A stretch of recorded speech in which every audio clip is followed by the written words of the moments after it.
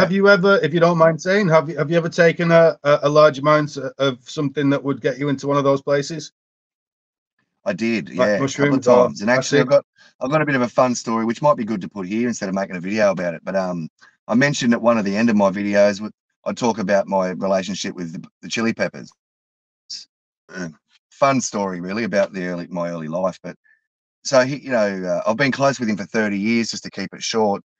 And since I was 12 years old, taught him how to surf. Ended up in America with him at 17 doing his bass stuff, like his, you know, his strings and his guitar amps and his bass tech.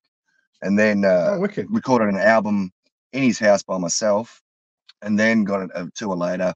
But the whole thing, what I was getting to was the, the mushroom, right? Like his whole thing since I was a boy. Even I remember a story. We were going down to a little festival locally here, and Anthony was here at the time. So there was Flea and mm. Anthony and my family. My mum was in the back seat, and I was only a kid, maybe 13, 14. So, Dane, how did you find me in the first place? I think I was just thinking about this before. I think it was a, only two weeks ago, I think, but it was on a, a comment I think you made. I think you just said something like you you'd covered this on your channel. Um, and I oh, thought, was oh, it um, channel? Was it Alan Green? Oh, it was stuff? about the numbers, yeah, one four four and eight six four and all that sort of. yeah, that's what it was yeah, about. Yeah. And so are, I've been writing those numbers, obviously. So yeah, I checked out your channel and then spent hours and hours over there. Oh, wicked! Nice one. I take it you're aware of Alan Green's work in general. Yeah, for a couple of years now. Yeah. Yeah, yeah. Yeah, he's a, he's a good lad, yeah, Alan. Bugger, I've been watching him. I've just been watching him down at the church, you know. I'm thinking, oh, the poor bugger. I wish I was down there with him. Yeah, he, did look a bit lonely. Lots of people went to visit him down there praying at the church. Yeah, but uh, yeah, it's, yeah, I think it's for a good cause. Go, you know, I go hard. It's pretty cool. Yeah, he's he's a good guy. Is Alan? He, he's from around here somewhere. Yeah. I think he's from Manchester. So the next question for me would be, what got you into all this stuff? Yeah, well, all right. I was thinking about, you know, you might ask me that. So it's it goes back, you know, 16 years. It started with really the basic one that we all know was uh the know thyself. And I just thought, you know, those, what is it, four words or something? I thought, you got to be kidding me. It's the most basic thing in the world, but I can't work it out. And it seems like this is an age old thing, you know, that uh, know thyself. So I studied law to begin with, like all the free man sort of crap and the, mm-hmm. you know, the straw man and the sovereignty sort of stuff. And it was quite a few years, maybe three or four years I was right into it. But it was mainly to, to get to know myself. I knew there was mysteries tied into law that were spiritually well observed for a long time, you know, about who we are. So I thought, you know, if I learn law, I reckon I'm going to find out secrets about more about what you know, know thyself. And I did. Other mm. everyone else wanted to get their money or get free of the system, but I had no interest in that. I wanted to more know thyself. That was where I was coming from. So what did you what what did you come to at the end of learning all the sovereign citizen stuff? Well, actually, yeah, I watched the interview with you and uh, Laird this week, yeah, and it was mm-hmm. you guys made a statement about uh about this. Oh, that's here. Here we go. So basically, yeah, it was always like about the words, right? Like it's like a hearing. So like you know, you go to a mention, for example, here in Australia, it's called a mention, right? Or a hearing. I was like, all these words mean more than just what they sound like, you know. So uh, it was about the written language you and Laird were talking about, right? So written versus auricular. Mm-hmm. And it was, I just knew there was something deeper there. So I stayed there for a couple of years, almost like just milling around these sort of, they just almost pass over these comments, like, you know, it's the written versus the auricular. And in the Romans uh, registering everything. It was a registrar. I don't know if it was a mm-hmm. I'm getting that wrong, but the, the peoples of that time in other areas were saying like, you know, forget about it. Like it's a, uh, an abomination to do a, you know, to do the written, especially law, to have it written down. And you and Laird were covering this about, uh, Laird said something about it being uh, more powerful, like the Dogon he was talking about, saying that they, uh, you know, weren't doing the writing. It was all that auricular It was more powerful So what I'd heard from Frank O'Collins years ago, probably 15 years ago, he was an amazing researcher. He's off the line for years now. You can't even find him, but he was top notch. And he was talking about exactly the same thing as um, as Laird, and they were saying, you know, this auricular. So what they said was that it gave the opportunity for somebody to lie, because uh, about so sense and nonsense, right? So when we really think about sense and nonsense, when the king would have them come, somebody come to them and be in their presence, said so they could hear them. Same as today in the courts, we go to a hearing, mm-hmm. right? So they would come and hear them, but you would also see the body language. You know, you would see, you know, the, the man or the woman in front of you. So it was the auricular wasn't just you know that you heard them. You saw, you know, you used all your senses. So it was the, the whole mm-hmm. five senses were engaged with the other individual. So to send a letter a long way away to whoever, you know, they thought it was an abomination. You know, it was uh, this person, I can't see them, I can't hear them. Uh, that's why it was more powerful. I wanted to sort of add that almost to Laird's little thing is there was some really profound reasons why they, you know, thought it was an abomination, you know. So yeah, I, when I was learning all that stuff for the straw man, I thought, you know, there's there's deep principles that are still, and this is what Frank was saying, still embedded in the court systems. Like the courts still honor the most ancient, ancient systems mm-hmm. uh, of that real basic down to, you know, like uh, just language and hearing and uh, the spiritual essence of all of that. You know, it's not just a a process, uh, you know, that they've come up with out of willy nilly. It's sort of a very, it's tied to very spiritual understanding. So that's what I got yeah. from that sort of law study, you know, was that real like, yeah, this is about observations over a long time from thousands of years ago about who we are, even our birth signs, you know, Gemini and whatever. These observations taken over long periods of, you know, and then recorded. Most of the time in song also you know with it wasn't written down it was in song and dance yeah. and well that's how you remember isn't it? to navigate. Hey? And story. Song song dance and, story. yeah.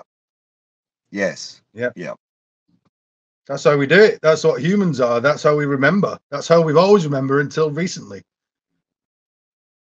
yeah it's, it's quite amazing i was actually quite moved last night listened to a few uh, other podcasts on it, or one in particular, and it, I'd love to share this with the whole uh, audience actually, and with you.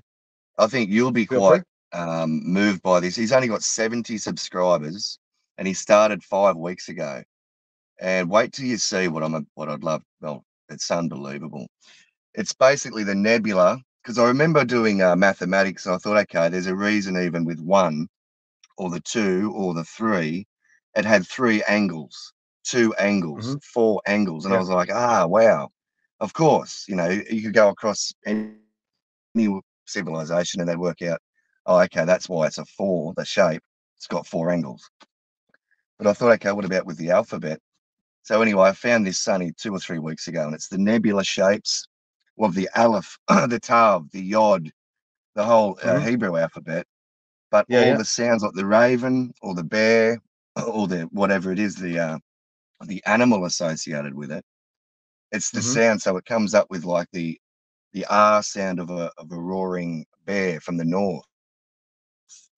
So That's even where they're positioned, it's in the north, and it's it's quite unbelievably uh, sophisticated. But this is the most ancient sort of calendar and alphabet system, which was found first in the nebula, and then it goes into the Noah story, where it's this chronolo- chronological you know, from A, B, C. But it's it's just so unbelievably sophisticated they put it into a story in mm. the hmm. Bible and many stories actually, not not just Noah, also in the Psalms and but it's basically yeah. so you can track time and then also the alphabet and then the sounds that that come with those letters were from the animal.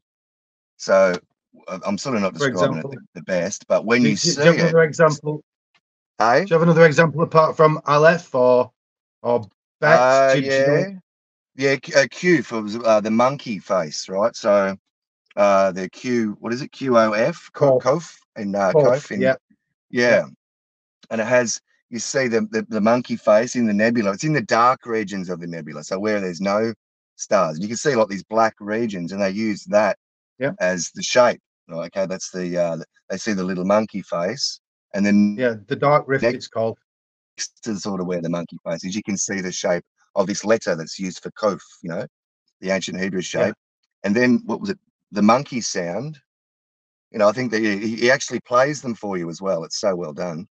So then he plays the, you know, cool, cool, cool of a monkey or whatever in, in Indonesia or somewhere. And it's that sound that we use, mm quirk, you know, the Q sounds. And it's like, wow. And it just, he, he goes right through the whole alphabet. It's after 16 years What's of everything name, I've you looked know? into, was, it's like, holy name? shit. This ties into even Robert Edward Grant recently being in the pyramid and seeing all the decans on the wall. And that, you know, the north wall's got this and the east wall has this. I- I must say I'm a little dodgy about that. I, I- yeah, I, I- yeah, can't quite I- see clearly, but I mean, when they got the pictures up, you can kind of go, oh, yeah. But, uh, yeah, but but yeah. for me, it, it's uh, I feel like the the drawing style that's used isn't Yep. very typical of, of either the Greeks or the Egyptians at the time. I did You think know, it's that. it's yeah. very naturalistic. Where there's the reason why you see Greeks and Egyptians off to the side, and you is they're always profile. You know, what like an Egyptian. Well, there's something sacred about Yeah. that. it's too long to go into but there's there's a, there's reasons why why it's done so that's why i'm a bit uh, and he's saying there's dna everywhere and it's like it's like you're filling in the gaps i'm not sure let's put it like that i, I love robert edward grant's work he's, he's fantastic but uh, um, Yeah. I'm, I'm yet to be convinced on that one Yeah, I'm glad you said that because even um, I saw him and Alan and another guy that was good with the decans and stuff. And he was going through the sort of the stories of each, you know, Ophu- Yeah. Ophiuchus and you know all the different stories yeah. associated. But uh, I wasn't convinced convinced with the artwork, even the face that came up. I just really thought, you know, that looks. It's a very strange style of artwork that's been. yeah know, it yeah. looks like a modern 14 year old's hand It does. Yeah. Yeah, even the eagle, you know, with this big eagle up there and the way that they've, you know, when you see the overlay, even the overlay is quite 14 year old looking, but that's, and you can see it when it goes over the top, but it does look quite kind of primitive almost, you know. Yeah, I mean the Egyptians were really good at drawing. I know that their style looks very, um, you know, there's one Egyptian style essentially, isn't there? Yeah. Especially in that in that yeah. period. Yeah, well, and the th- that they always style get is, the proportions beautiful. Exactly. Well, it's it's most Egyptian hieroglyphs are drawn to that pattern that I found. It's all it's Yeah, all seven sided Yeah, that blew me geometry. away. Yeah. Yeah. Yeah. Yeah, that is my yeah, wow. when, when you laid it over the top of that, um, with the woman with her vagina open and the whole ancient, ancient, on us, you know, when you laid it over that, I was like, what the? I haven't seen that before. I mean, that's, and it's just, you know, it's Yeah. perfect. It's perfect. Yeah, ju- Yeah, just fits. that That that, woman, she's called Sheela-na-gig, and she's in lots of medieval, early medieval churches, and uh, that was the first thing I I'd, I'd, was making a video, like uh, as I was discovering these things, and then at the end of the video, I'd put her up, Yep. and I just saw it. I just saw how that pattern would fit over the top of it, like I could see the geometry underneath it, and I put it over. I was Yeah. like, "What have I found here?" And then I found it everywhere after that. I mean, my favorite ones Yeah. those cave walls, but it, it would be, wouldn't it? Because that's like 40,000 years old. Yeah. Yeah.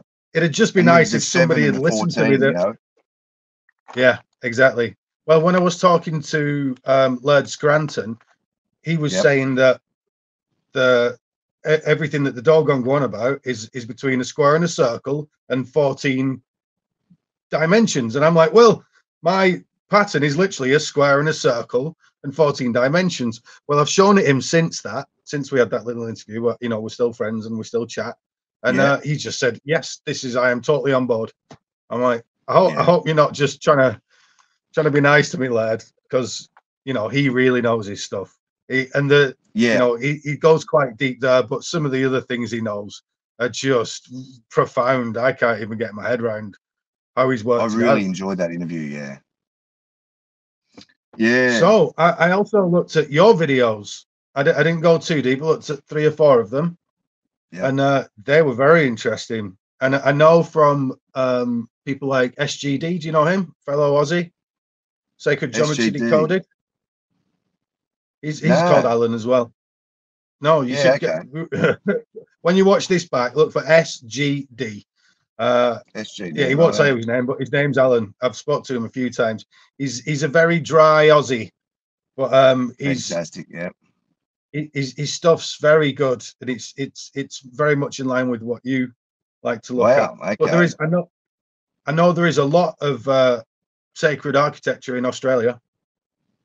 Yeah, yeah. The guy that was around for years, and he was quite good as well. He's sort of gone off the radar. He's a bit older, um, an older guy, but he's um he did a lot of work on Canberra, you know, and the actual, you know, the all the layout of the capital city, you know. And I mean, mm. from the air, you can see everything. You know, you can see the owl. You Yeah. can see, you know, there's just everything appears. It's quite easy to see. But it also where it sort of shoots off to to the other suburbs, it's also got other connections that you know, you'd have to kind of look more deeply into, which this guy did, laid it right out. He was quite, you know, quite good. So I knew that there was, you know, the way that they survey, and also that they weren't really, yes, you know, Oh, they you were broke lining it up to more Masonic, the, the Masonic compass, you know, in the sky type um, alignments. So I, I knew a little, a little bit about some a few things, but the things that uh, in this area of a tiny little village really it's a tiny little sea village the connections from here to the um, act capital and the shrine in melbourne and all that is you know i wasn't expecting to find any of that really i was just kind of curious about this mountain nearby me you know this pyramid co- conical Mhm. shaped you know it's a mountain they call it a mountain i've been up there it's 720 meters but it's not really you couldn't call it a mound like you know uh, over your way Yeah. it's you know it's more of a mountain but yeah, the top 20, 30 meters of it is very strange.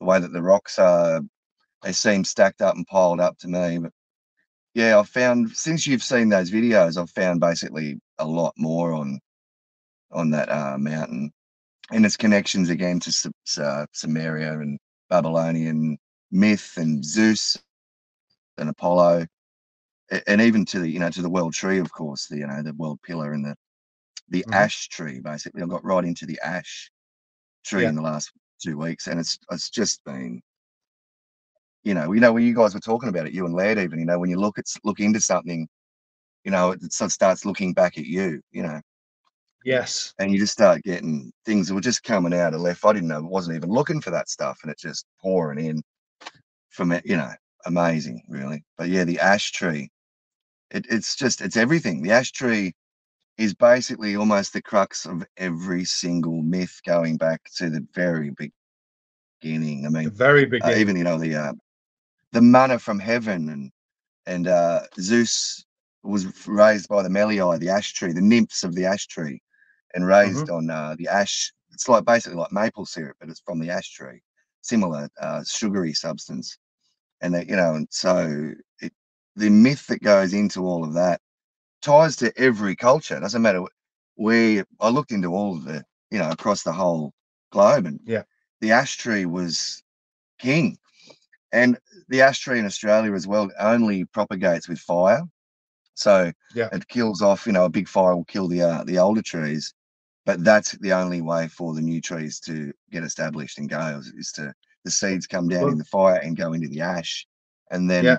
So it's all about a- the- thing the with, phoenix and the whole um, Bennu bird and the and yeah. oh mate, it's yeah. So there's there's a, there's a thing where um, a lot of it, obviously, there's lots of pine cone symbology as well. You could say the ash tree, but it it's basically whatever the big tree is near you, especially if it's a a tree with lots of DMT in the bark, for example, like the uh, acacia. acacia tree. Yeah. Um, o- otherwise, it might be a pine cone, and it's the same thing. It's like when the pine drops, there's lots of pine trees where it needs the fire to open that pine cone. Well, that process is called serotonosis, as in serotonin. Literally, the, the fire hitting the pine cone and it opening is serotonin. Well, it's at times of increased serotonin in your body that your pineal opens and, and starts, you know, serotonin is the basis for uh, melatonin and, and melanin and then DMT. So all this stuff's very related. Yeah. And as you were saying, Zeus was was fed on sap. Also, he was suckled on a goat. And that same That's goat, right. they took the yeah, they took the horn off, and that's the cornucopia, the horn of plenty. Well, you, you begin to realize that in the past they were grazing animals on poisonous plants and then suckling the milk for a drug, is what that is. Wow. So it always goes back to drugs. Wow, that's fantastic. I was glad. I'm glad you said that. I was going to ask you about all that because it's. I'm still sort of tying these things together. So because I saw the picture of uh, the the nymph holding the actual horn, uh, you know, Yeah. uh, and Zeus was taking a drink out of the horn. Okay, I was thinking, okay, milk and honey, you know, and the, the Mhm. story of the milk and honey, and but then I saw it was the uh, something or other goat, Ama, Amathea goat or something, Almathea. yeah. Almathea. Yeah. So, So, um, so like in goats' beards, yeah. See, in Egypt, they had the beard on. Well, that's made from goat's hair. What would happen would would be the goats would go out grazing again on these same plants, and it collects all, all the oils and resins collect on the beard. So then they take chop it off and either stick it on themselves or they go and burn it as a burnt offering. And then you stand in the in the temple and inhale all these essences and get off your head. Basically, they were always trying to get off the head. Wow. Okay. Righto. That makes Yeah, this is so- making you know it's tied into so many things. Yeah. Yeah, exactly. Because I was sort of putting together that it was some kind of massive birthing. I mean, that still might be a part of the drug ritual thing. Is this kind of like even like birthing an empire or birthing an idea or Alright. birthing, you know, um, yeah, life, Okay. giving life to an I- I can- idea, even you know. I, I can fill that Um, in for you. So, so the original, um, the, origin of the mysteries and the origin of all these, um, well, they call them the pharmacon. A name for magician in ancient Greece was pharmacon, which is also a word for drugs, as in pharmacy. Uh, you see lots of serpents in cups and stuff like that. Yeah. Well, uh, the original witches, let's call them, the original doctors, were midwives. So a lot of these drugs come from mid- midwifery. And Wow. although wow. this, is, wow. this is not, yeah. yeah, this is not pleasant to hear, but as they were using the goat to process the drugs, they were using women to process the drugs. And you get Right. the the origin of the Holy Grail and stuff like that. Although nobody really, you know, there's very few people that know this stuff. I mean, very few. Like yeah. Is this the Laurence 10 uh. Gardner sort of stuff about the sto- uh, firestone or the starfire? Oh, I, yeah, I I don't. I, I mean, I, I do know about Laurence, but I, I don't know about that one. Um, Yeah. but basically basically, the menstrual blood. well, not just that. Like the whole, they use menstrual blood as well, but um, Right. squirt, mate. Ladies squirted stuff. So Right. they, they, the body would process it, and then then the the, the squirting out basically. On on it, it, it Wow. gets very dark actually, and then you can follow that Yeah. route. So you probably don't want to do it, but you can follow that route through to Jesus and his his little apostles there. I don't know if you're a Christian, but um, those apostles Right. were, were children. When when you when you do all the Wow, I've never calculations, even saw that. I mean, over the 16 years, I found that thread to start pulling on. You know, like I knew about the Yeah. mosquito, uh, the mosquito mushroom, and the whole, you know, Yeah. uh, association with Jesus. Drinking weed. Yeah. yeah. and even the temple of Lucius, or is it Lucius? I always get that wrong, or is it Epher? Eleusis. Yeah, and they'd go and you know, uh, basically, you'd never talk about it when you'd leave, and um, you'd even uh, you only got one go at it. I heard you had one sort of chance at it, so you'd make sure you were ready and prepared, done the preparation work before you went to the temple for the initiation and the, the ceremony thing. I, I knew a little bit it- about it- that. Yeah, it, it's that you could you're expected to go once, but you could go multiple times if you wanted to. But most Right. people went on pilgrimage, is the thing, and it obviously in those days it takes a lot to get anywhere, and you can come from anywhere in the world. It doesn't matter who you are. Somebody was telling me a Yeah. story about a man went from India, and uh, he found it so wonderful and lost his de- fear of death to such an extent that he went outside and set himself on fire. Wow. Yeah. Yeah. Mental. I mean, lately, even like what thinking about this, uh, you know, standing on the shoulders of giants type of thing. And the more I'd look into this, I, I actually can see and feel the most profound uh, it feels like love to me, but this profound, loving teacher, sort of um, ancestor that we've never met, that's so far back, but so carefully and um, beautifully wove, you know, with these stories and symbols and uh, you know the real sort of language to you know, and it still yes. survives like it survives today. That's that's just sort it's of everywhere. It gets me sometimes. Well, that's one of the advantages you've got. Yeah, you've got one of the advantages you've got in Australia is the fact that you're such a new country, and mm. you know there were so many masons involved in the building of it that it's doesn't it's oh, not very yeah. messy. You know, yeah. it's it's nice. Yeah. It's not you know the London would have had something of a plan if not for the fire of London you know, and all these other places would have had such a plan, but you know, history got in the way. But in Australia, you've not got that that same disadvantage. Fucking great point. What a great point, mate. Yeah, it's it's not messy. They had they had a clean slate. I never, yeah, it was completely clean. They could just start afresh. And yeah, like you say, the Masons, like they've they've obviously, I mean, the amount of work that was done even before 1920 when you look at all of they say it was built in 1860 i mean they were busy. It was the busiest 100 years in all of the history almost busier than the pyramids mate. Like the i'm thinking how many stonemasons were in australia in that uh, you know mm. in that 40 year period. I mean that's we're talking thousands of unbelievably skilled stonemasons plus the surveyors and engineers and architects and yeah it's and, and i think one of the people one of the things that people get wrong about the Masons, obviously they associate them with dark things often, uh, and I'm not saying that they they're not up to mischief, but they've put this stuff yeah. here in plain sight for folks like me and you who have a heart uh-huh. and, and, are looking to gain our soul and are willing to use our yep. mind and, and spend our time. They've put it there for us because they wanted to give it yeah. to us. They weren't selfish, they're just clever and you don't cast pearls before swine. I think you're dead right, Ryan. Dead right, mate. I've been thinking along those lines for quite a while, quite sort of quietly to myself. But like this is, it's not hidden. Uh, yeah, and again, they, they don't. Yeah, it's always secret because yeah, pearls before swine.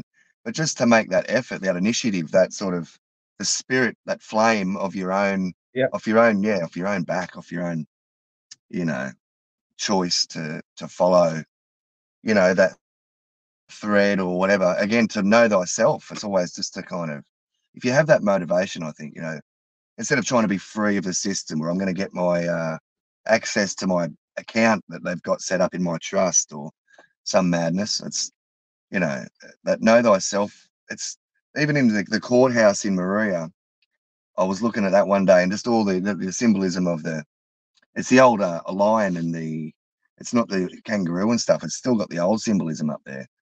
And you just you see it everywhere around this tiny little village of a town. You know, it's just little coastal village.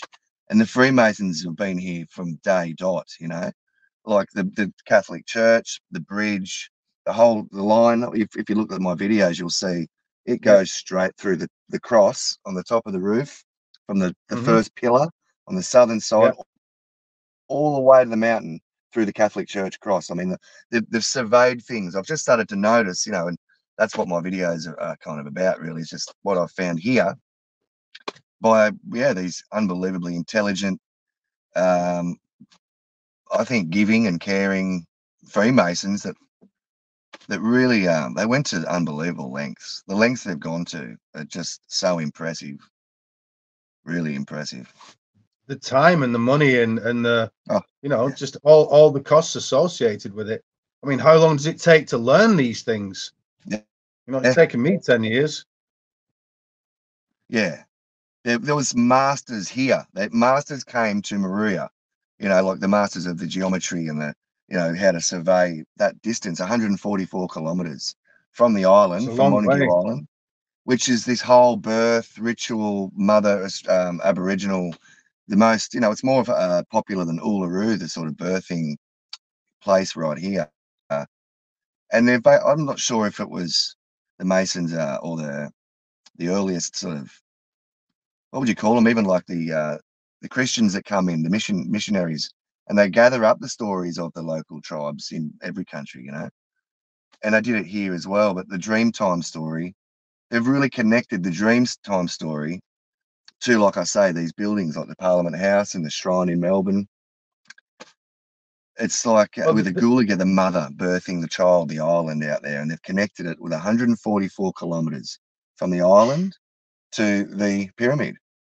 I mean, mm. perfect. And then right in the middle at the messy point is this natural hole, which is over 100 metres deep, over 50 metres wide. It's, I mean, what are the odds of it being right in the centre of those two places? And I'm just kind of well, I have a couple of questions for you on that. So, do you actually think it, it was there before? Do you think the the natives knew some of this stuff, or do you think they? How, how much do you think the natives actually knew? Would be a better question. Yeah, a friend even said to me only two days ago the same thing.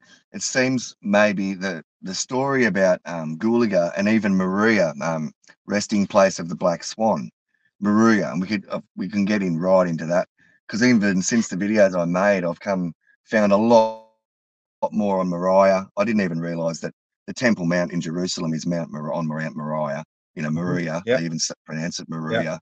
It's even the same pronunciation. But uh, and then the threshing board, uh, Araunah's threshing board, and that's where Aran, you know, Mount Moriah, and it's it's where Abraham nearly sacrificed Isaac. Yeah, I'm getting off topic, but what what you're just, doing is actually you, you are you are noticing uh, the etymology and the play magicians play with words. Oh, so you said yeah. Ma, you said Ma as in Maria, which is the sea, and obviously the the archetype of the feminine is is water. But yes. you also said Ram, Abraham, and Ram is the opposite of Maria. You get Mars, but you get um Ramses, you get all these male archetypes. Well, that's the Ram of Aries, this male fire archetype.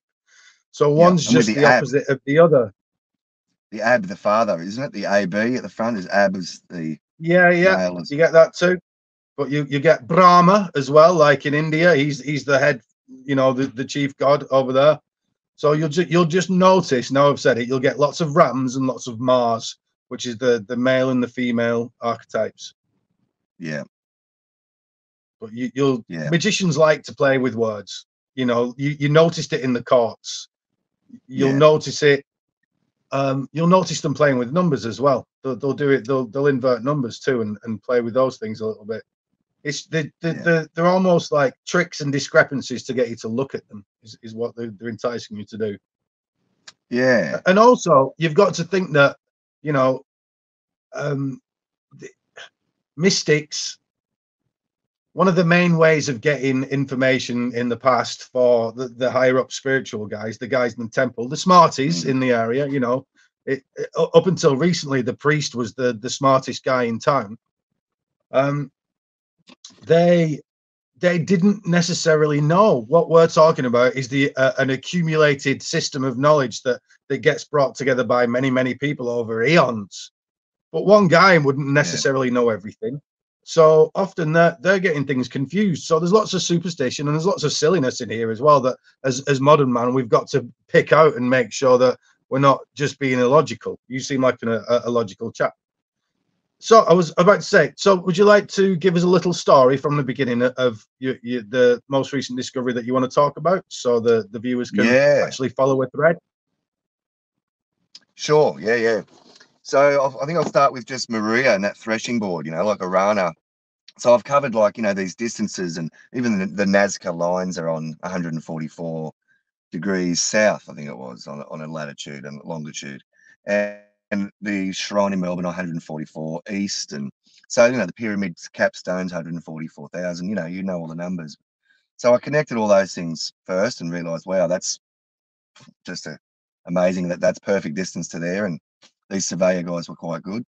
But then I thought about the, um, I knew that the mountain I'd found an 1895 map of the this pyramid mountain at the back of Moruya just here.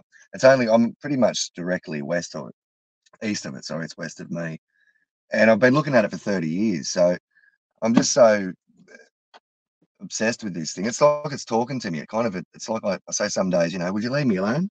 It's sort of a, it's annoying me, you know. It's amazing what's been happening with it. But so the I knew it was covered in ash trees and it was a mountain ash. But as you approach the mountain, it's really hard to get to. By the way, like it's when you look at it from town, it's the only thing you can really see. It's so you know there it is. When you get right to it, like out to it, I mean, you try and find it. I've spoken to people locally. Said, "You did you get up there?" I said, "Yeah." And they said, "You're." Uh, we tried. We tried to get up there. We couldn't even. Once we got out there, we couldn't even see it. It's so. Wow. It's unbelievable. It's really quite a mysterious thing. But so I knew the ash was all over the kind of the whole top. You know, the, from the peak right to, to basically to the base. But then it just turned into Australian bush. You know, the, the eucalypts and every other yeah. every other tree. So I take it the ash isn't the ash isn't native at all. It's been put there by.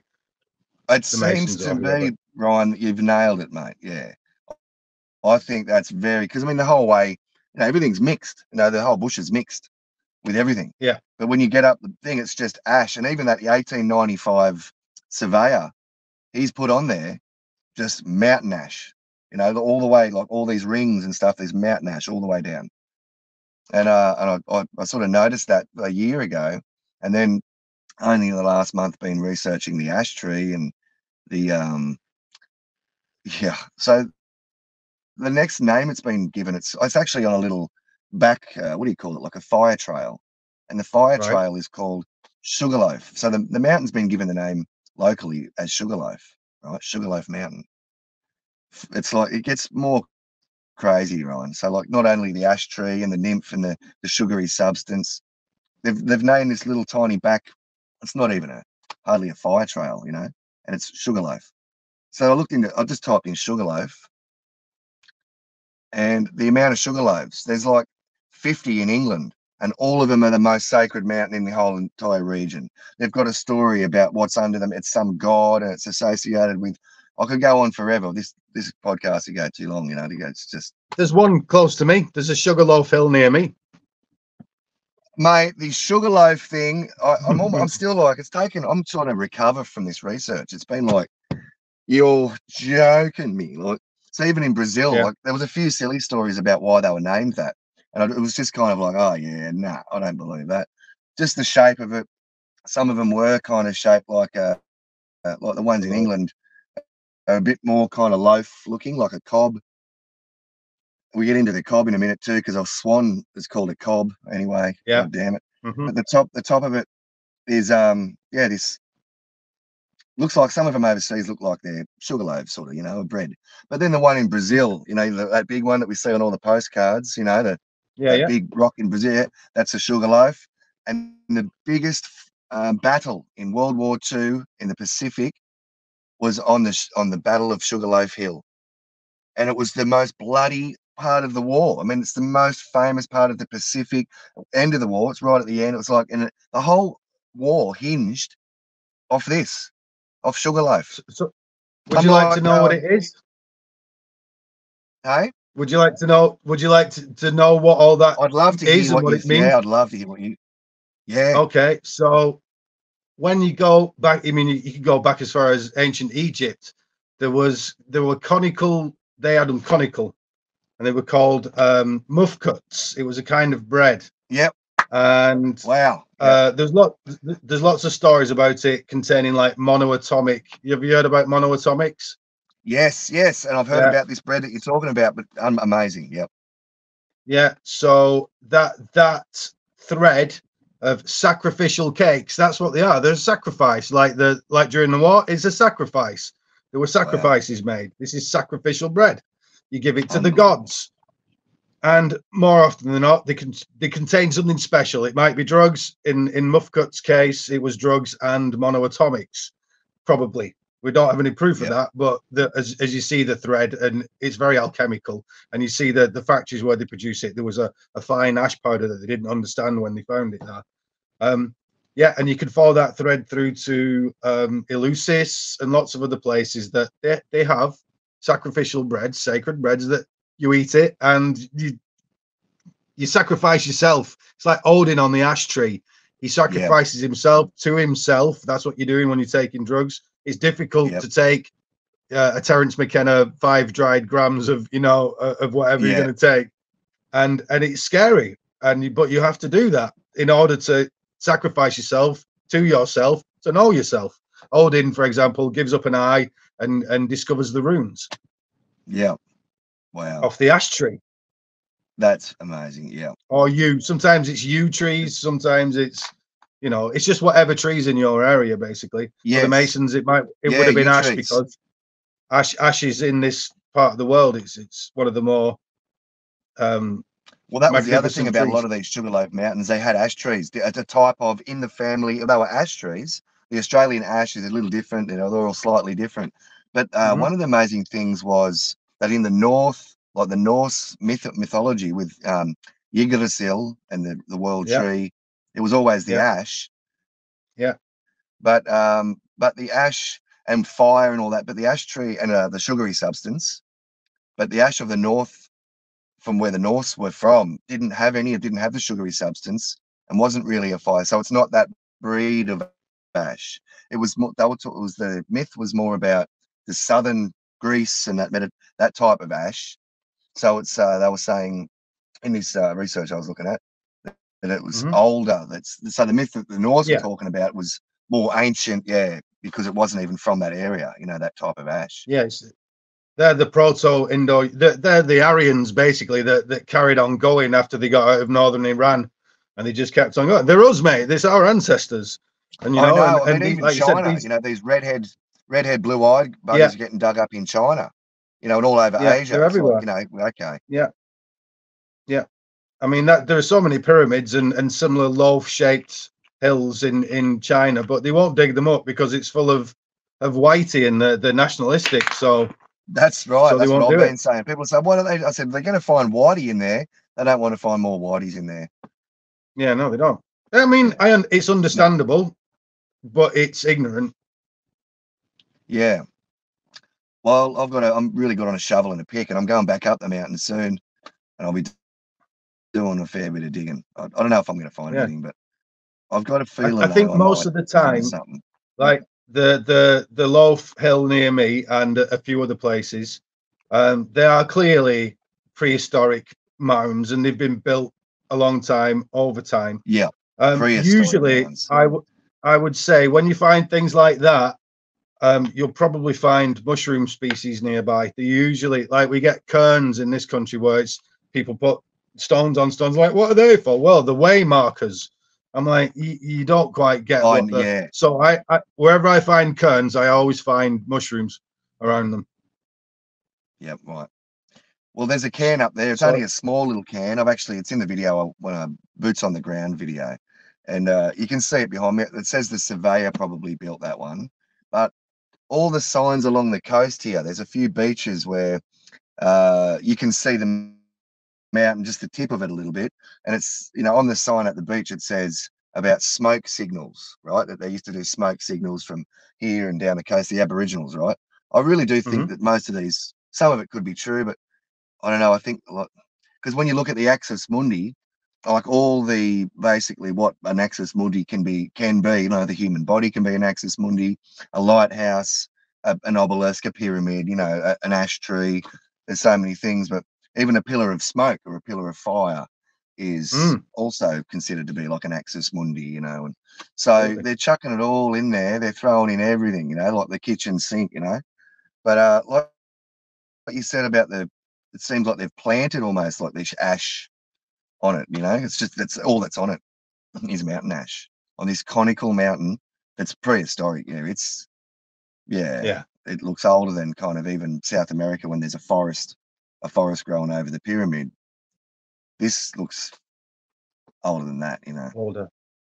Yeah. But uh, they've, uh, what I'm sort of been more blown away by is the the effort and the money and the time and effort gone into as incorporating uh, that mountain in Moruya to their modern public works projects. Like they've really incorporated this bugger in here. They really, they really got a thing for him, if you know what I mean. And I'm like, I've got a thing for him, but I'm realizing far out these buggers had a thing for him before me. Like he's what, what do you think was driving them? Re- really important to him, like yeah. really important to the to the whole well, sort of story. I mean, I've even seen people talking about Australia was, and I've even seen in the Egyptian where they're saying like the southern, you know, the southern sky, uh, even the Absu, even like the the uh, this mysterious, deep, dark place in the you know southern regions, and it was almost like it was home, like Enki and Enlil and this, you know, because there's a lot of the gold here in South in South uh, Africa.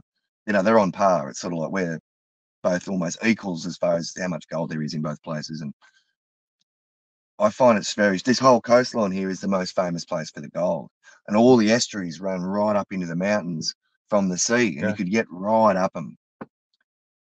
They used to get the know, granite for the harbour bridge in Moruya. So I mean, they had ships that used to be massive ships even hundred years ago. You can barely get a tinny up it now. It's all silted up. it was deeper than Sydney Harbour.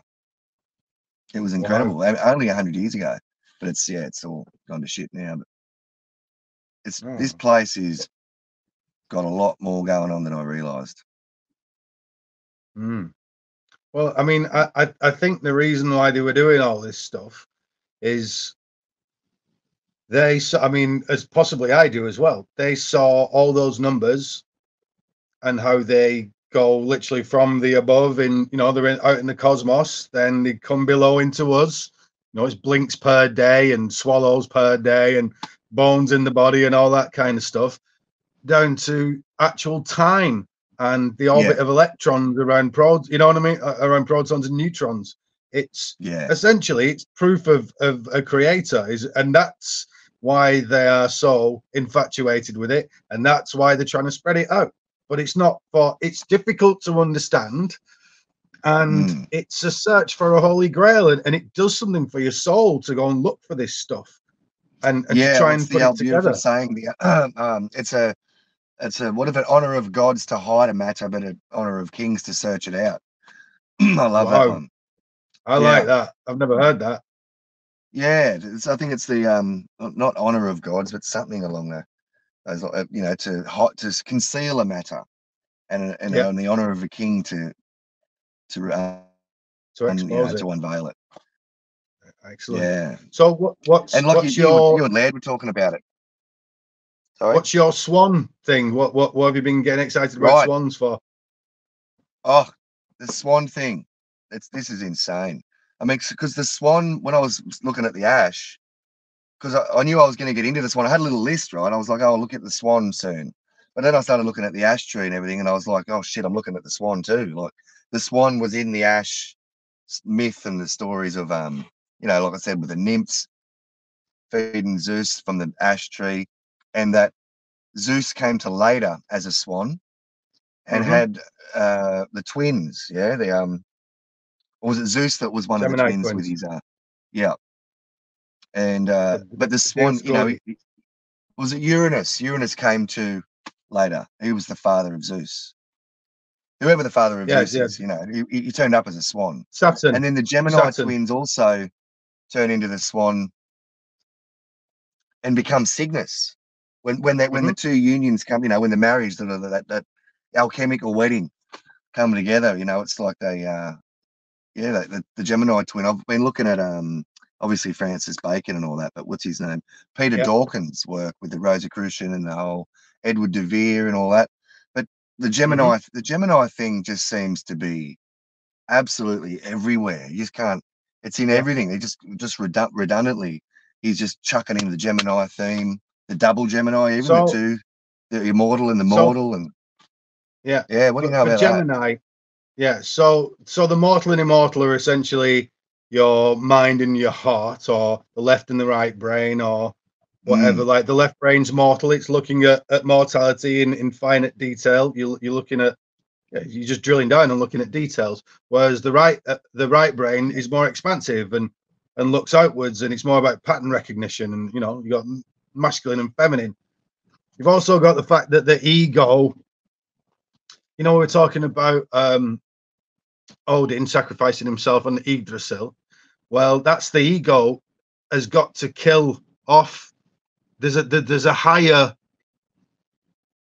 there's a higher self in there, and once you kill the ego off, the lower self, the mortal self, then you can be you can be that higher self basically. And and the earliest myths are of a one twin killing the other twin, sacrificing the other twin to make the world. So it's that kind of an idea. the swan. Right. Yeah. Um, what what what it's doing? That's uh, a preserve.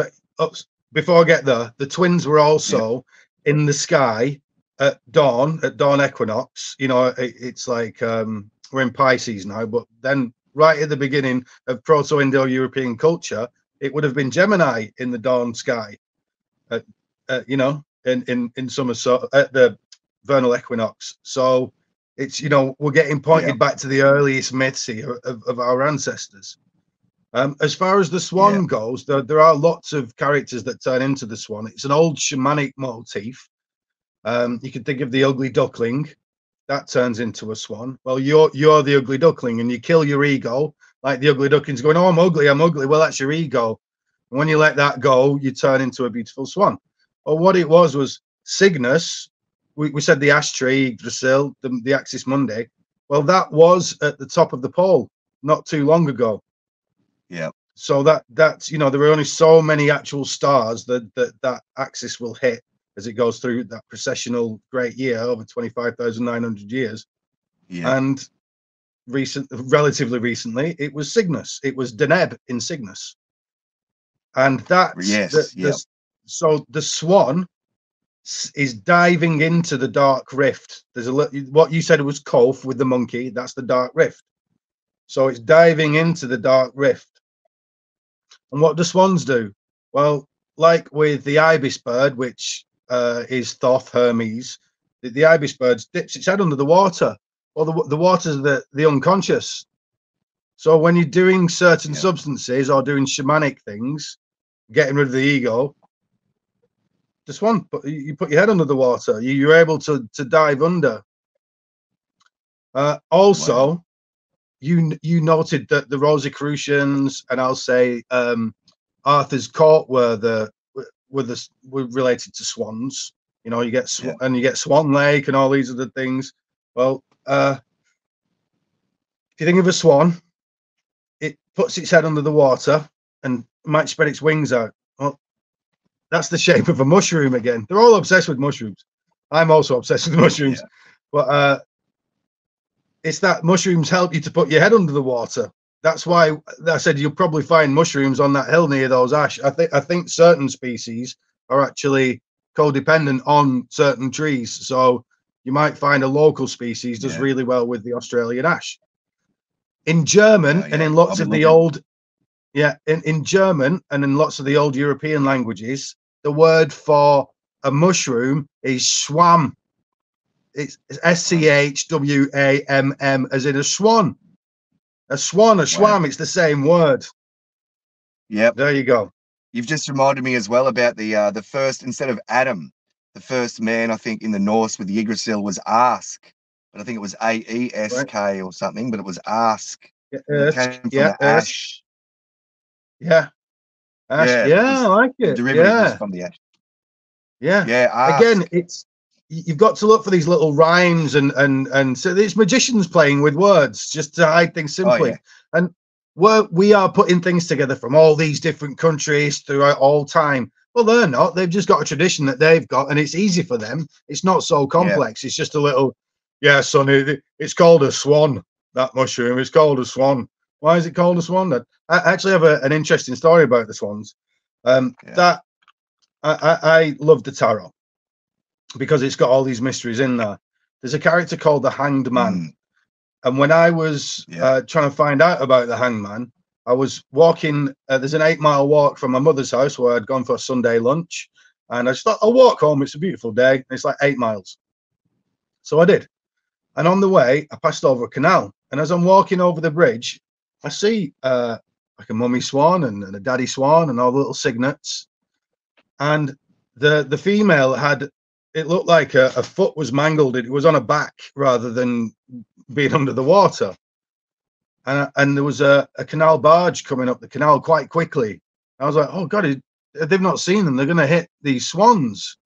And I'm just passing over this bridge. So as, as the, the peak of the drama was happening, I couldn't see what was going on, and I'm I'm worried about all these swans, and I'm like, I'm getting really involved with it. And then as I passed over the bridge, I looked over, and the swans were fine. They, they knew exactly what was going on. They caught the wake of the boat at the front and just just sailed along. Yeah. I thought, what a profound feeling that was. I wonder if it's got something because you know, thinking like a mystic. I wonder if that's got something to do with the hanged man card.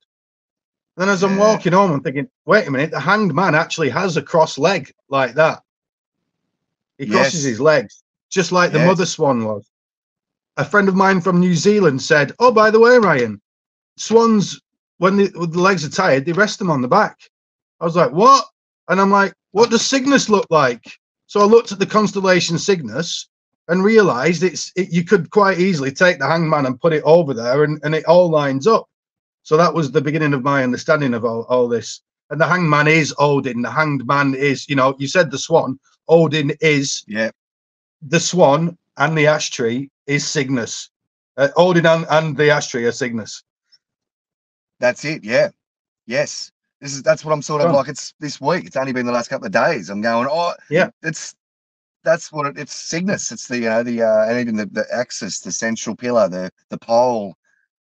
Yeah. You know, well, it, it was. Even ties back it was the, the electricity pole. and mag- magnetic electric. That's all it really is. The masculine, yeah, feminine. Yeah. You know, the, the magnetic goes at the uh, right angles to the electric.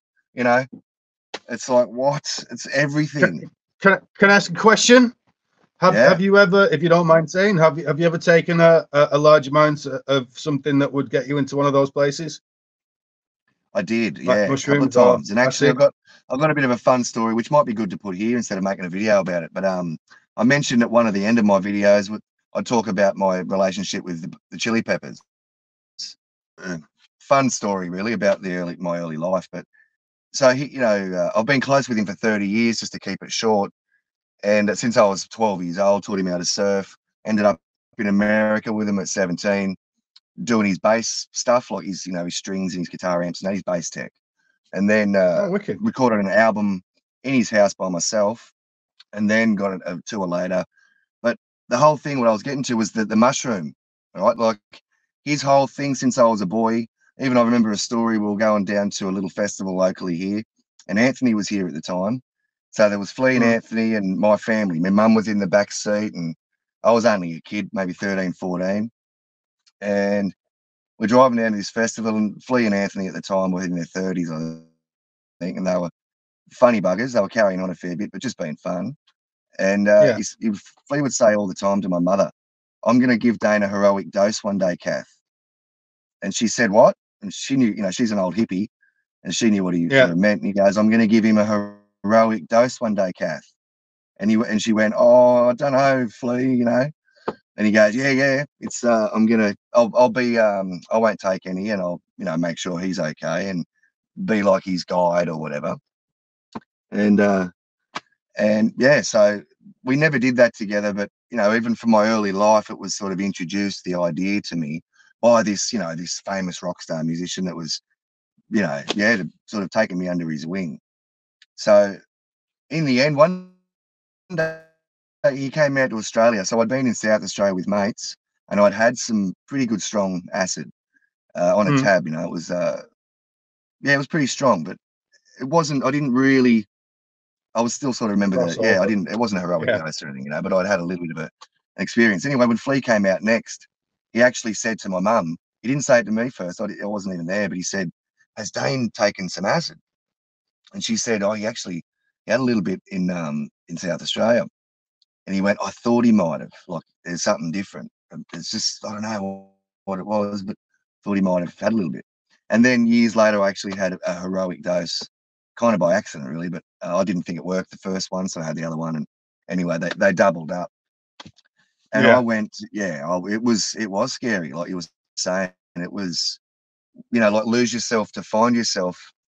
Mm-hmm. Yeah, like I, I, I, didn't have any friends either with me. I was just on my own in Byron Bay, of all places and uh, you know backpacking, and looking people everywhere and all that.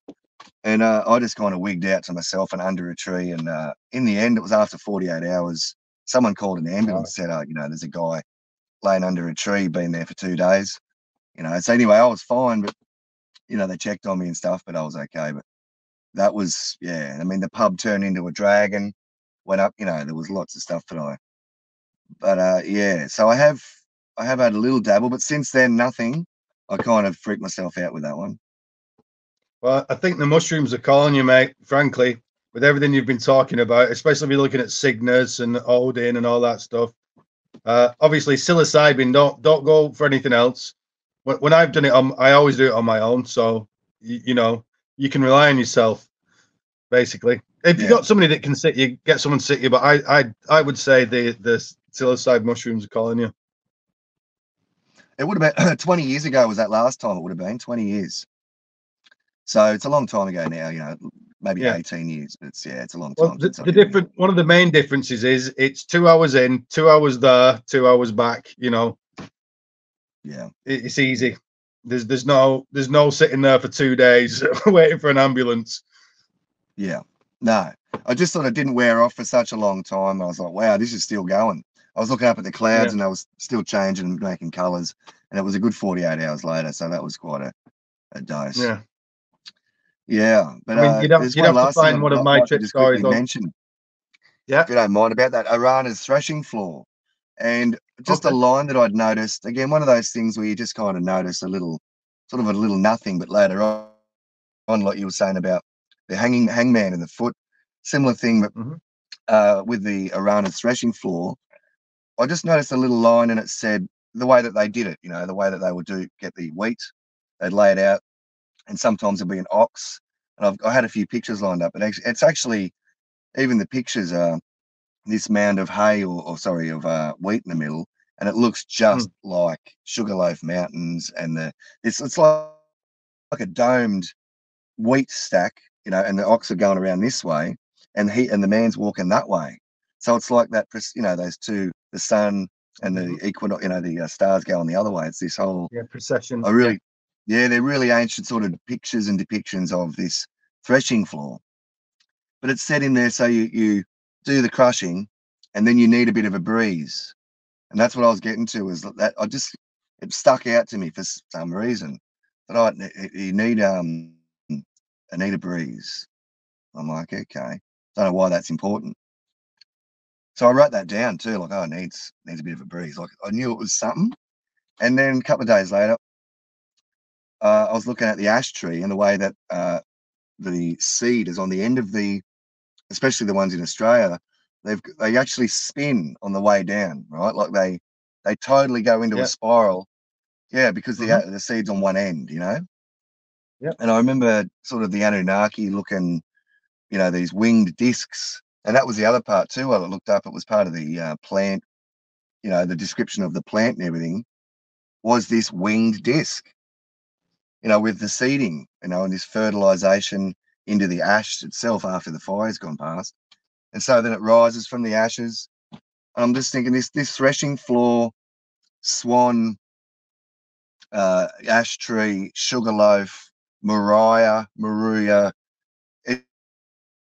it's you know i'm just every, the whole myth is basically in this town of Moruya with a conical mountain with this island that's got lava tubes that connect to its mother scientifically they went yeah lava tubes connect those so it's not there was a story about an umbilical cord and it, mm. everything matches and like we're just yeah. in little old australia we only found us yesterday we've been here 200 years everyone reckons oh we couldn't find the place and uh yeah we just bumped into it yesterday and we've set up camp I just I'm not buying it. I think there was yeah, there was people here a long time ago. Yeah. Yeah. The seafarers. likely. Yeah. Yeah. The seafarers. The, yeah. Our ancestors, mate. Possibly yeah. something to do with Atlantis or something. I don't mean that literally, but it, it's something like that. It, yeah. It's some antediluvian before the Younger Dryas, some navigator types, high civilization for the time. They was they were seafarers. They had the geometry. That's what they're passing on. But like Laird said as well, because there's the mysticism involved with it, and we get these little downloads, or you know, we walk past the swans, or we see the threshing floor, and something sparks off in us. It is like we're supposed to know, and and it is it is like if you go looking for it with this clean heart, that you will find it. Yeah, and oh, there's days where I think, am what... I um, am I just manifesting it? Like you know, because we're we're creating this. Like as a the main point of kind of where my thinking's been is these these dragon lines or these ley lines are, are real things. That's and they work. As in, there's a they actually do something. I think. I don't think they're just um, yeah, a story about energy and uh, you know hmm tapping into some invisible madness. I think they yeah they're very deliberate. So, They uh, always seem to place you know that okay. is it the Michael line you guys have got over there. You've got the Michael line. Yeah, yeah. Lots of those St. Michael line. Yeah. yeah, you've, you know, So- and it's basically yeah, they're ancient those those lines, you know, Oh, where yeah. you know, and all those sites are so ancient. So in Australia, it's kind of what I'm saying is that I just thought, you know, the Aboriginal guys aren't known for even building a little stone cairn. They don't. that- That's not their thing. They used to have a little bit of a stone circular cairn, but they were rare. They weren't. It wasn't common among the tribes. So just all these. I just thought, you know, is there anything to find here?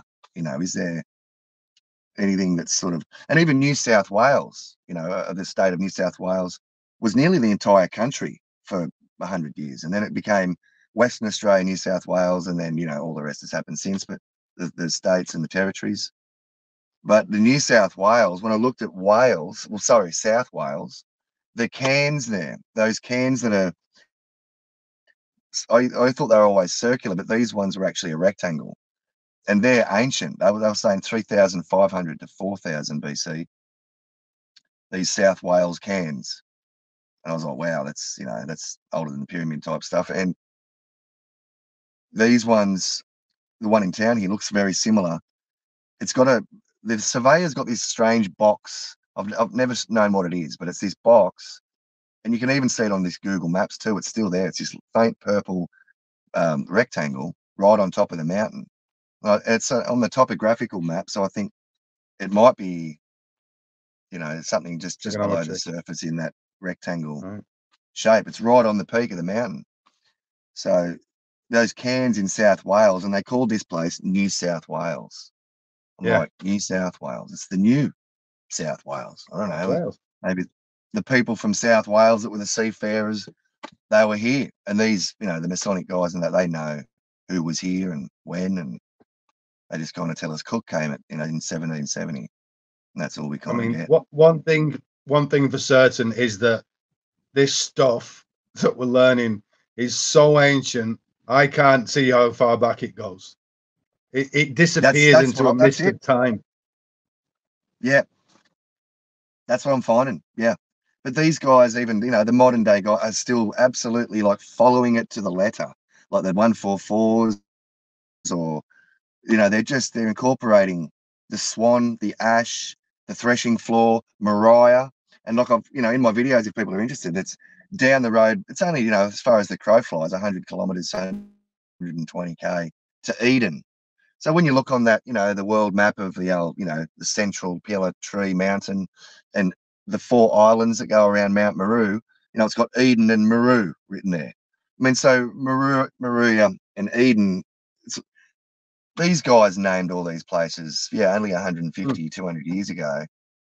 Yeah. And it's even like I've shown in, again, the 36 degree latitude here, that's the, on the south degree. 36 north is the Straits of Gibraltar, and that goes to the Azores. Mm. And you know, they say, oh, maybe the Azores are where the Atlantis, was. So we've Yeah. got 36 degrees uh, straight through the Pillars of Hercules. It goes 36 is dead on through the Yeah. Strait of Gibraltar and straight out to uh, the Azores.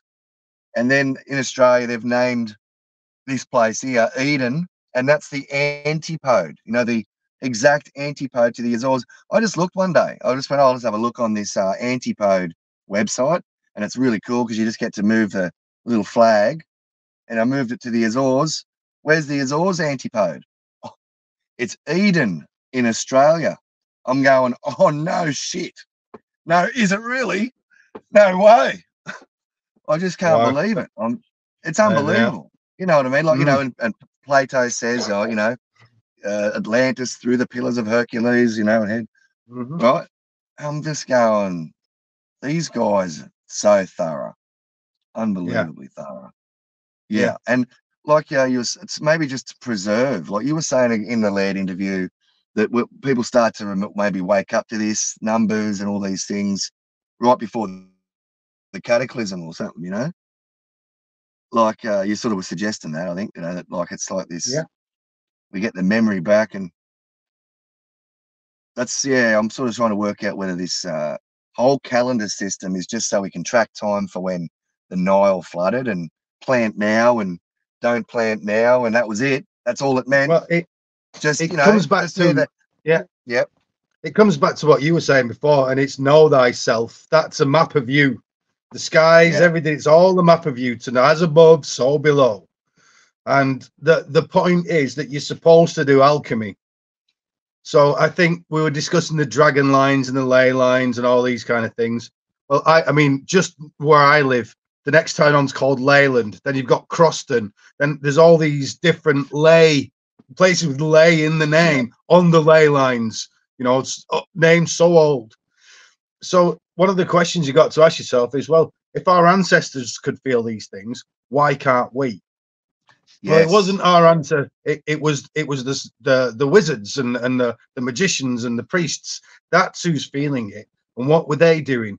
Well, they were doing alchemy on themselves. And what is alchemy? It's release. Alchemy is release. Alchemy is is understanding the the nature of all the energies that come into you, and looking within yourself. There's an alchemical adage. Um, visit the t- interior of the earth and by rectifying find the hidden stone. So what you're doing is like with you, you find it in um qigong and neigong in in china which is basically chinese alchemy. You go into yourself. I mean it might just be a muscular thing. You look for little knots in your body and you go oh is, is am i tense there? And you release it. And you, you've got to keep the practice up. You go inside yourself and you release. It might well be psychological you know, uh, I hit my brother when I was 12 and I, I- never forgave myself. You've got to release it. These are all knots and things like that. And Yeah. once once the body and mind and soul are all released enough, something special happens. In in the East they call it chi. Over here it's called the secret fire. It's related to sex and things like that as well. So you don't want to be expending yourself. What you're doing is looking to hermetically seal yourself Hermes is, is the Yeah. god of alchemy, and conserve your energies in such a way, have your mind, body, and soul so clear that everything just runs through you. And at that point, you do start feeling that when you go past the ley lines, you're like, oh, that feels a bit dodgy. I don't like because I mean, most ley lines are negative, funnily enough. And then you get these little Yeah. positive parts on hills and stuff where, where the poles flip and you, you do start to feel these horrible energies and then good energies and it's like oh i'm getting this now but you just Yeah. got to release yourself enough and i, I think quite frankly as as you know australians and english uh, we're cousins we're, we're brothers essentially aren't we you know Yeah. I, I know the english feel like that about the australians Yeah. Oh, Um, absolutely. Yeah, we still do. Yeah. Yeah. I mean just Yeah. just the the way we speak is very similar Yeah. Uh, pretty much. Yeah. I- I think that yeah, yeah, exactly Even the uh, the yeah lingo, well we're we've- we've- we've, we've, lengthened all the words and you know eh, mate you know the whole Yeah. aussie thing but it's basically just more lazy lazier version thing. Yeah, yeah. We, Yeah. but our culture's the same, and our outlook on life similar, and our sense of humor. We have a sense of humor, and I find letting Yeah. things go with with humor and and having fun with things, and not taking things too seriously, but having your heart in the. This can help you release. You know. absolutely so it, yeah. my my my it gift to you would be part yeah. hey So my gift to you would be to, if you want if you want to go and find these things more easily, especially in the land, look into yourself. Look for Yeah. these knots. Look for these, you know, or into your life, into your past, and look for these knots and release them. It's not relax, it's release. So yeah there you go. That's actually a profound gift that will unravel itself over the next few years, hopefully. For me too. yeah amazing mate amazing because you know the, that that whole uh alchemical wedding thing you know and this gemini in the gemini headpiece all these it's just redundant in it it's everywhere Yeah. it's just I'm I'm Gemini. I am a place. Gemini. Yeah. Yeah, I saw that the other day that you were a. Gemini. Yeah. Okay, yeah, but it's 7th so June, but- we're on a, uh, an hour and well, it's my birthday in like a week or so. I'm 40 freaking yeah, me too. five, Yeah, on the seventh. What is it now? Yeah, it's a week or so away. Oh yeah, well, uh, I'll send you a message. Uh, so it's coming up to an hour and twenty now. Like I said, I don't want to blow anyone's head too much. We will speak again if that's cool with you. Yeah, yeah mate. Uh, is there yeah. anything you'd like to leave the people with? No, I think that's pretty good. No, we're good for now. Yeah, just I'm still sort of really into that Maria sort of research at the moment, all these connections with, you know, the ash, but I'm kind of near the end of it. It's basically, I don't know how much more I could really, because it boils down to the, the end essence of what you've said anyway. You know, it's like that the swan, the tree, the axis, the pole. It's just this, it's the same most ancient story, just repeated yes. in many different little forms and ways. And yeah, and there's so many names for the same characters. And, mm-hmm. but uh, I just, yeah, one last point actually is just the emotion. I think emotion is what you're saying about the negative parts of those lines, those dragon lines. And I'm just thinking, I'll leave this with everyone. I think we can sort of heal the lines, or not. I hate that word heal, or I don't mm. know that sort of. But I really think we're actually feeding them fear, and we're we're jerking off and doing all the stuff that you know is is energetically adding to these lines that basically, you know, they go yeah. to Parliament House or to Washington, you know, they all connect back to kind of the the the brain, the the mother ship, and we're kind of all out there just doing our thing, you know, willy nilly, not having a clue really what we're doing. But we are actually like even the the, the arenas for footy and all that are built, and you know, eighty thousand people going. That's a lot of energy. So I think mm we, we're playing a big a part in it and we don't even realize that we're playing such a massive role in even earthquakes maybe you know just everything's yeah. this macrocosm microcosm and yeah we're kind of we i think we're affecting the earth the lines with our emotion basically and that's i'm starting to realize when i have the alchemical wedding myself I'll be more able to uh, maybe assist in not destroying the lines. Oh, mate, keep shining your light, and maybe other people will go, "Oh, that man is on fire. Let me go and bask in his heat and take some of that myself." And I want to join in. I think that's the best any of us can do. Yeah, pretty much. Yeah, I. I don't know anyone else that's in my area that's interested in this stuff. A few people that I, you know, mentioned stuff, and they've sent me some really cool links. So you know, they're kind of semi curious about a few things. I was spun out by the 144 kilometers. Like, oh, oh yeah, that is weird. So yeah, mm. a hmm. few people are kind of yeah, slightly interested in this stuff. But yeah, I just can't. I'm obsessed. I can't even. I can't turn it off. It's been like this for years. I'm like, I don't know. I don't even yeah. know why I do it sometimes, but it's just this. Yeah, it's a passion. I, I love it. Yes, because it's beautiful. Oh my word, it's beautiful and it's mysterious. So, oh yeah, yeah. It's so beautiful, mate. All right, then, buddy. Shall we wrap it up then? Uh, so, what's your name on YouTube? Saturn Rooster 81. Saturn, yeah, Wicked. Saturn Rooster. Because, yeah, yeah. Uh, yeah, 1981's the year of the Rooster. Right. Are you from and 81? It was the Saturn Jupiter triple conjunction. Hey? Were you uh, were you born in 81? I was, yeah. Yeah. yeah. Wicked. Yeah, right so then. that's well, we can talk about that next time, I think. But yeah, the Saturn and Jupiter whole thing. And uh, I loved your, stuff on Saturn. I watched every single one of your Saturn videos. Yeah, the oh, Sator oh, and Nesta, the Pat, Pater Nesta. That will get. You know, I'd love to get into that with you. That's amazing. Yeah. Yeah. Yeah. Speak yeah, I was born in 81, well, so that's the year of the triple conjunction. And it only happens. Yeah. The next one's in 20, uh, 22, 38. So yeah, yeah, yeah, they're really rare. The triple, yeah, there's not many people great many about. things have happened because of that triple. Like uh, the Rosicrucians, for example, there's been lots of things happen because of that triple. Yeah, yeah. The, I, I, even looked at Palenque. Sorry to keep it. it, it Palenque's even got the whole plaza lined up to the seven BC triple conjunction of Saturn and Jupiter. The whole Mexico, uh, what is it, uh, Peru or yeah, and it's just the whole lot. Every single that temple's to Saturn, that's Jupiter, and it lines up on even uh, because there was a triple. You know where even the moon is on each one of them. I mean, that's you know years yeah, worth of labor, etc. To yeah. line it all up to that, what, what are they pointing at? You know, and a birth of a Messiah. They were saying that's the birth of a Messiah.